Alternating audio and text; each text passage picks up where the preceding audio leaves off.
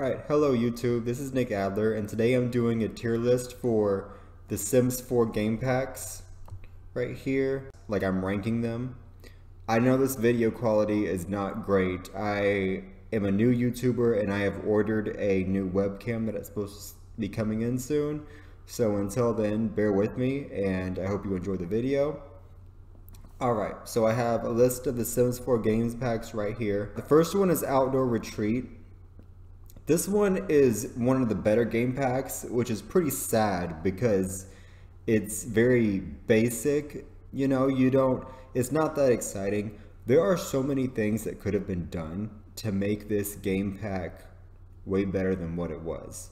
Like, it's almost like they just gave us the bare minimum with it, almost, you know, because camping is supposed to be a lot more fun than what the game made it. Like, camping's not fun in the game. There's no point in going to like the retreat, in the outdoor retreat, unless you want your Sims to be living in a different house for three days. Like that's the only reason why. But there's nothing really exciting going on in the campsite. They could have added water skis, like a little Loch Ness monster, something like something to make the little um, outdoor retreat pack more exciting and better.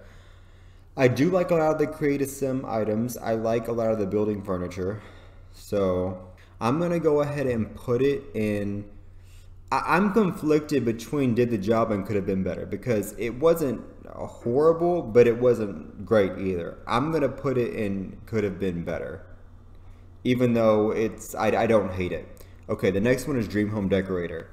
I love this game pack. Like, love it. This I think this is like one of the best game packs they've created. I like that we could have a career creating Sims houses, like remodeling the Sims houses. Like 99% of it I love. Dream Home Decorator is like uh, one of the best packs. Like the create a sim, well, I don't know if it comes with create a sim items. I think it does. But the build items, the career, you know, it's something that should have been included in the game a long time ago, but I'm, I'm glad that we got it. So I really like that pack, and it's one of the few packs that I'm going to be putting up here in the like the top tier love it area. Just so you know. All right, next is my wedding stories. Out of all the packs, this one is the one that I could go on a big rant about for like a long time. Okay, so the world of Tartosa is gorgeous. I love it. That is like the best thing about the pack. I like the pack, the fact that they give us wedding events. That was fun. However, there are so many things that could have been done to make this wedding pack good and it it wasn't that good. You know, um, there should be more veil options for brides. Oh, the fact that we can't have any bridesmen or groom, uh, I mean bridesmaids or groomsmen in this pack really bothers me. Like you could have a flower girl or ring bearer, other things, but you can't have a bridesmaid or like you know groomsmen that stand next to the bride and groom while they're exchanging their vows and that is something that people have in most of their weddings. So the fact that they made a whole wedding pack and didn't include that really bothered me. Like that was one of the things I was most looking forward to, but The Sims didn't make that happen. Another thing that really bothers me about the fact, uh, the pack, aside from the bridesmen and the groomsmaid, I cannot say that right. Bridesmen, bridesmaids, groomsmen. There, I got it. Another thing that bothers me about the wedding stories pack is that we can't take family group photos. I'm not talking about, oh, we're just four people, four Sims. No, I'm talking about actual family group photo, family portraits. You know, because you know at weddings, like they'll put the, the groom's family in one photo, they'll put the bride's family, and they'll do a big photo where they combine the groom's family and the bride's family. The fact that we can't have family portraits also bothers me. It's like it kind of just took out one of like the best aspects of a wedding in my opinion. So I'm gonna go ahead and put uh, my wedding stories and could have been better. I'm kind of tempted to put it in meh because there, there are, are, so many things about that pack that that bothered me. But yeah, it could have been much better. It, disappointing. It wasn't absolutely horrible because I liked Tartosa. I liked a lot of the furniture, you know, the creative sim items, but I did not like the, the actual wedding part. All right. The next pack is werewolves. Okay. I know this pack is really popular, but let me catch. I gotta catch my breath. I don't know what's wrong with me. I don't know why I have to keep pausing to. Why I'm having trouble breathing. Okay. I'm not crazy about the way the werewolves look. Like, yeah, it's funny, I guess, and if you're a furry, you'd probably be into it. But like, I just like the way the Sims 3 werewolves looked a lot better compared to these werewolves. Because Sims 3 werewolves actually look like a cross between a human and a werewolf. These werewolves in this game, uh, the Sims 4 pack, it just looks like a bunch of furries. Like it's just, and the fact that they go on rampages and they damage the whole house, that really bothers me. I think the first time I actually played with the pack, it ended up killing one of my Sims because like it ended up biting them, and I don't think if they transformed, they just died. And it's like, wow.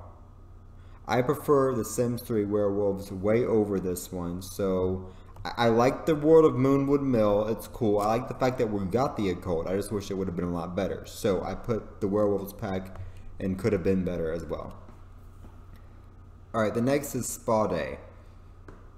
Personally, I don't see why this had to be a whole separate pack, you know, because it's just a spa. It should have been included with like a career pack or something. Um, yeah, it, it's okay. I like you know I like the the yoga interactions and the furniture it came with. You know a lot a lot of the items that it came with the creative sim items, the build mode items. It was okay. I'm gonna go ahead and put it in did the job because it did the job, but it but it's not it's not like that exciting of a pack. It's just watching your Sims at a spa, and it has some cool features. Other than that, I'm not crazy about it. Alright, the next pack is Dine Out. This is another pack that it was good. Could have been better, but like it, it, was mostly good. It's it's mostly really good. Of course, it doesn't come with the world like werewolves, and it, it's a good pack overall. I think I'm conflicted whether to put it in did the job or love it. Um, even though it has a couple flaws in there, I'm gonna put it in love it it should have came with a career pack, really. Spa day, open your own restaurant. That could have been its own pack. You know, like Sims 3 Ambitions. Yeah, this could have all been its own pack, but you know. Anyway, the next pack is Vampires. I mean, I'm not someone who's a super vampire fan, but I like it. The vampire occult, like they're very difficult to like keep alive. You know, they either have to feed off of other sims or they have to grow plasma food fruit. They can't go out in the sun or else they'll die. You know, like I said, they're difficult to keep alive. They're kind of fun to play with because like they have like these supernatural abilities. You know, they can I think they can gain skills very fast. They can teleport places. I really like the world of Forgotten Hollow. A lot of people don't like that world, but I do. I like the setting of it, like the creepy setting that it has. I like the build mode items in Vampires and the creative sim items. So I'm going to say I'm conflicted whether whether to put vampires in Did the Job or Love It. Um, I'm gonna put it in Love It because it, I think that it did what it was supposed to do. Aside from the fact that vampires are hard to keep alive, and it gave us Caleb Vittori, one of the most handsome pre-made Sims the game has ever came with. All right, the Parenthood pack. As a person that wants to have kids one day, I found this pack to be very endearing. I wish it would have came with its own world, but whatever. I guess that's what growing together was for. But I like the gameplay features in it. I like a lot of the creative sim items, the build mode items that it came with. So and and the gameplay, like you know, it kind of actually teaches you how to raise a kid and like how to be a good parent. Not that I need the pack to show me that, but someone who's aspiring to be a parent, I think Parenthood would be a good pack for them. I I'm gonna go ahead and put it next to Dream Home Decorator because it's like Parenthood is one of my favorite packs. Jungle Adventures. I'm kind of conflicted on this. I mean, the world of El Salvador, I don't know what the world's called. I think it's El Salvador, like the vacation world that Jungle Adventures came with.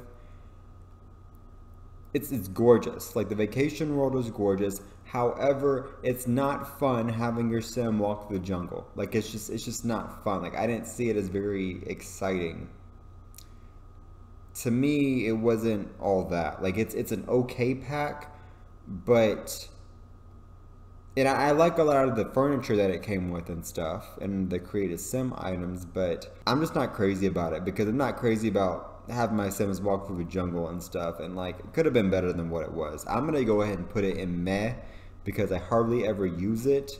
Maybe I use some of the build mode items, but like, yeah, I just don't really care for it. I wish that the the El Salvador, the vacation world that it came with, I wish that was a residential world, or they would have gave us a vacation world and a residential world that we could like live in that looks like El Salvador or whatever that was because that's a pretty gorgeous world.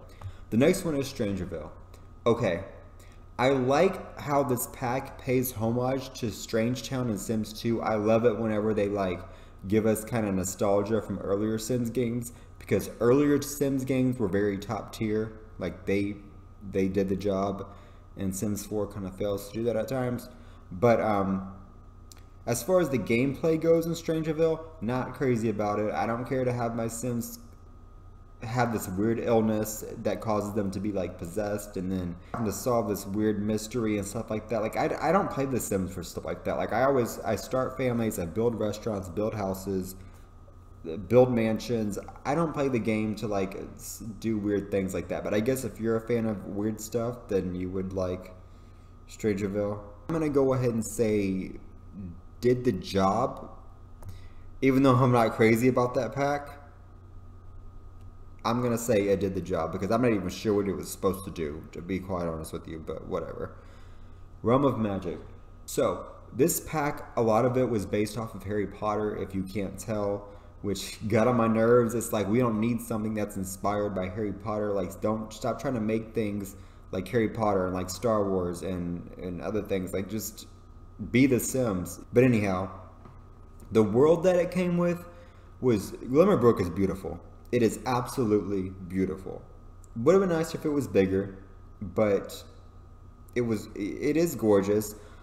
However, when you think of witches, you think of scary, like dark, like something, you know. So I expected the world that was associated with the witches pack to be scarier. Kind of like Forgotten Hollow, but like even better. Like I think that they could have gave, given us an even scarier world with this Realm of Magic pack, but it didn't happen. Instead, they gave us a world that looked like it would have been for fairies.